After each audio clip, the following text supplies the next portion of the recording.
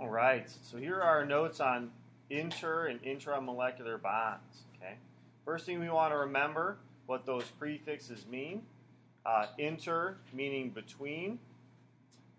When we talk about intermolecular bonds, we're referring to the bonds that are between two two molecules, and your intramolecular notes bonds that are within molecules.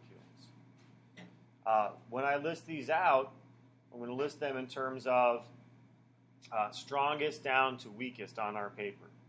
Okay? Our strongest type of intermolecular bond are our ionic bonds. And for ionic bonds, we covered this a little bit last time.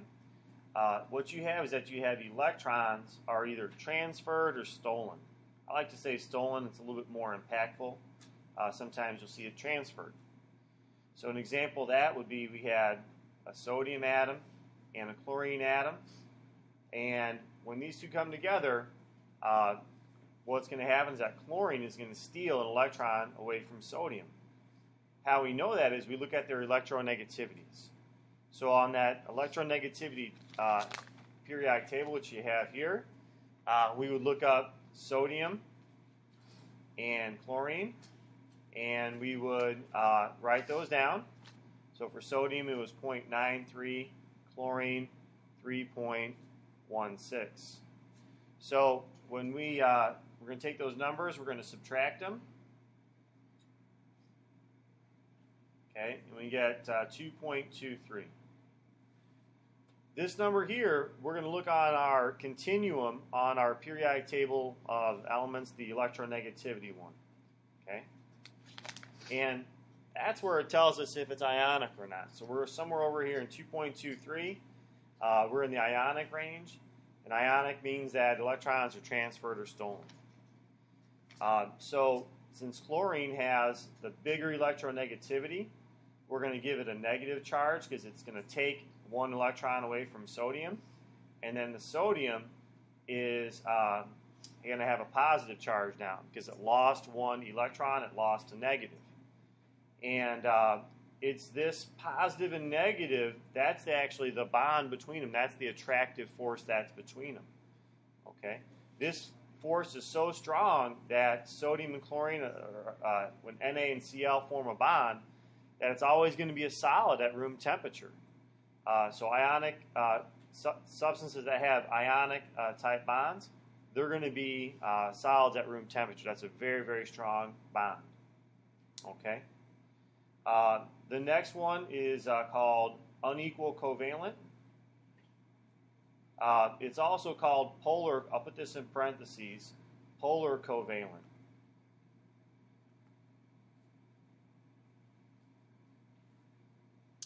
And uh, unequal or, uh, or polar covalent bonds, you have unequal sharing of electrons.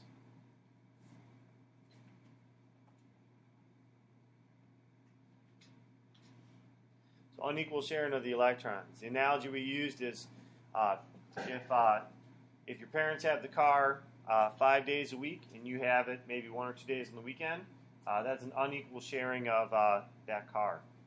So that's what kind of what happens, and we use uh, water and oxygen as our example, a bond between excuse me hydrogen and oxygen.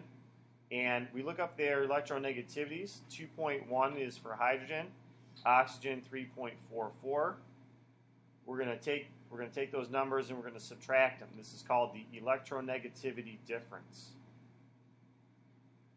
And again, what we do, we take this uh, electronegativity difference. We look on our uh, periodic table of electronegativities, and it says that we have an unequal covalent bond. Okay, so looking here, uh, we're in 1.34 area, unequal covalent bonds, unequal sharing of electrons. So the oxygen is going to have the electrons in this bond a little bit more of the time. So we said it's going to take on that partially negative character. This uh, symbol here uh, is uh, like a lowercase delta, uh, and it means partial, it stands for partial. Uh, and then hydrogen has the electrons a little bit less of the time, so it's going to have a partial positive charge.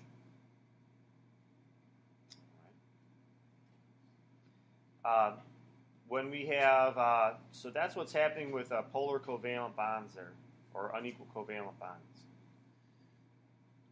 When we uh, take a look at uh, the other type, which is going to be our weakest type of intramolecular bond, is going to be uh, equal covalent bonds. Equal, or sometimes it's called non-polar covalent bonds.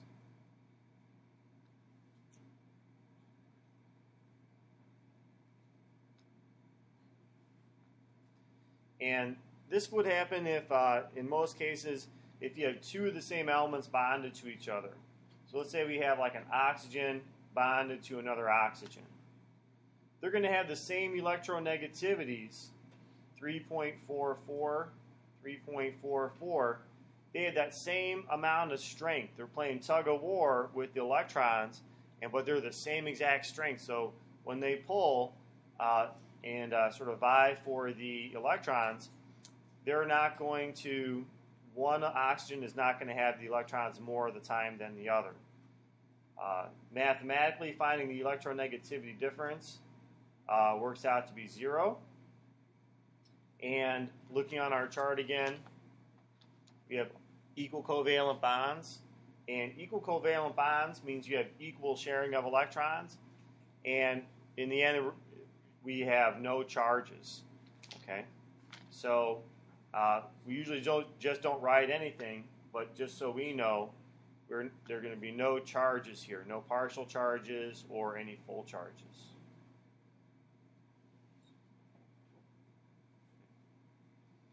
So those are our three type of intramolecular bonds.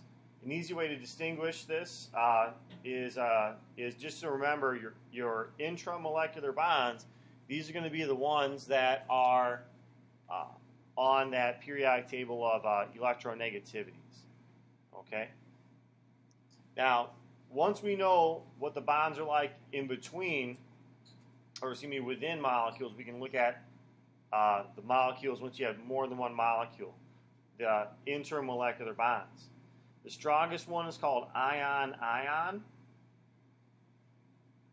So let's say that we had uh, NaCl with a positive and a negative charge. I'm just going to draw like a circle around it. So that would be, let's say, one sort of molecule of that. And I had another NaCl. Okay, positive and negative, and I'll draw that. The bond that's between them right here, that is your ion-ion bond. So it's a little bit, you know, splitting hairs, I would say, uh, between an ionic bond is, is within one NaCl. When you have more than one, for instance, then the bond that's in between them is the ion-ion bond. Okay? So that's that. And it's a very strong bond. Uh, and it's actually this bond that's so strong that, um, that makes it uh, solid at room temperature always. The next one is a hydrogen bond.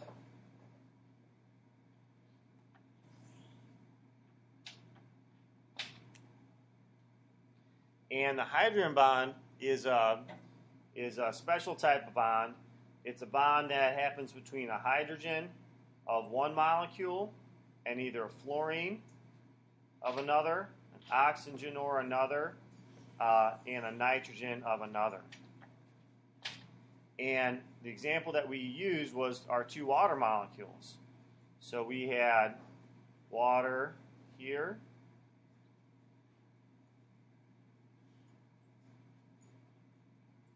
And a water here.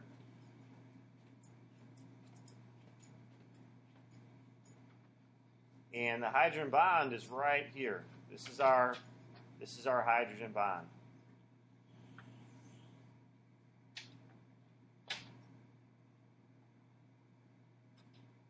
And the reason it exists, we could go back to our uh, our charges here that we assign based on their electronegativities.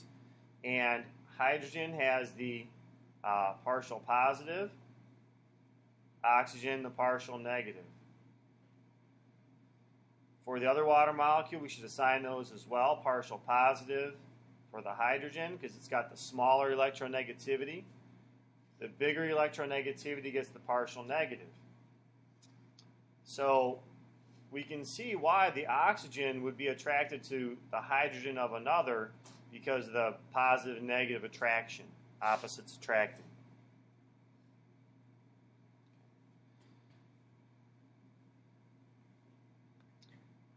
Now, the next one is called dipole dipole.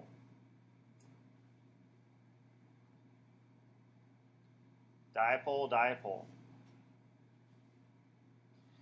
When you have um, when you have these uh, partial negative, partial positive within um, uh, in a molecule like this in this kind of shape, uh, you have what's considered or called a dipole. Okay, uh, and uh, so if you have a dipole in one chemical and a dipole in another, uh, you have a dipole dipole force. And so it turns out that a hydrogen bond is a dipole force. It just so happens that when you have a hydrogen of one and a fluorine and oxygen or a nitrogen of another, it's a special type of really strong dipole dipole. Okay. Um, so if we take a look at uh, something that happened in our lab, we had uh, our glass, main component of glass is silicon dioxide. So we have silicon and two oxygens, O and O. When we look at their electronegativities, 1.9 and 3.44, we can subtract those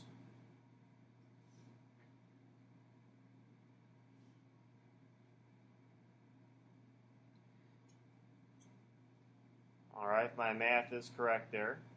Um, and we come up with 1.54, which is an unequal covalent bond. Now, that means that the oxygens are going to have a partial negative and silicon partial positive and partial negative here. This molecule here, sort of like a glass molecule. And what we did in our in our uh, lab, we took a capillary tube, put it in water, and water was very attracted to it and went pretty far up that tube, much more than hexane did. And so, why would that be? Well, silicon dioxide or glass has a dipole, positive side and a negative side. Well, our water has a dipole as well. So, our water molecule might be arranged something like this, sort of in space next to it. Oxygen having a partial negative, hydrogen having a partial positive. So the dipole force that we have would be right there. This is our dipole dipole intermolecular bond.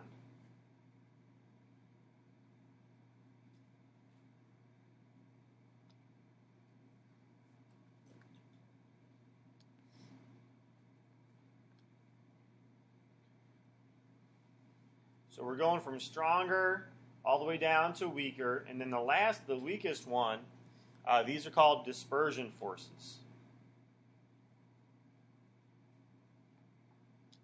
Okay? And a lot of times they're called London dispersions. And they're very, very weak. Okay, these are these are the weakest of all the bonds, and um, and they're so weak. These uh, these chemicals, if they are liquids, they evaporate really quickly. A lot of times, things with dispersion bonds are actually gases as well. We'll use an example of uh, methane, which is CH4. From their electronegativities, carbon is uh, 2.5 by 2.55, and the hydrogen is 2.1. When we subtract them, we're going to get uh, 0.4 and we're going to end up with unequal covalent bonds. So hydrogen, the hydrogen is going to have a partial positive because it has a, the smaller electronegativity. We'll draw that in for all the other bonds, which are exactly the same. And so for this methane molecule, uh, you have partial positive all around. This molecule itself is nonpolar. Doesn't have anything that's that looks like it has a pole to it, like a magnet. If I draw another one next to it, another one the exact same molecules, you're going to have partial positives all around. Okay. So here's our molecule.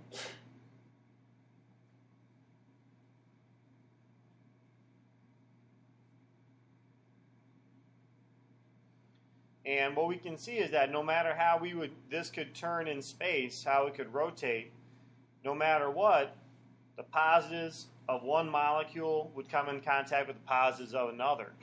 And that's going to be a very, very weak, very, very intermittent attraction between them. Uh, and most of these situations, or these uh, chemicals are actually going to be a gas. Uh, sometimes they're a liquid, but they evaporate really quickly. Okay, and those are your London dispersions, and it would be this bond that's in between them. That would be your London dispersion force.